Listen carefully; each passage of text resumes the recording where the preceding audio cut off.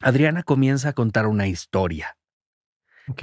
Eh, no nos dice que nos va a poner una prueba. O sea, empieza así como platicando. ¿Cómo están, niños? Bueno, eh, primero que nada, quiero presentarme. Yo soy Adriana, Bar- Adriana Barraza y me gustaría contar un poco de mí.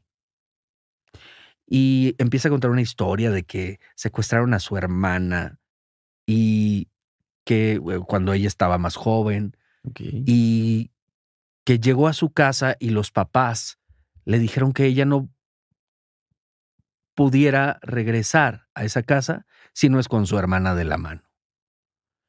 Y entonces empieza a llorar de una manera que te estremecía y todos de que, ok, pues qué pregunté, ¿no? ¿Qué le pasa? y de repente corta y dice, así es como se actúa, siguen ustedes. Y todos, madres.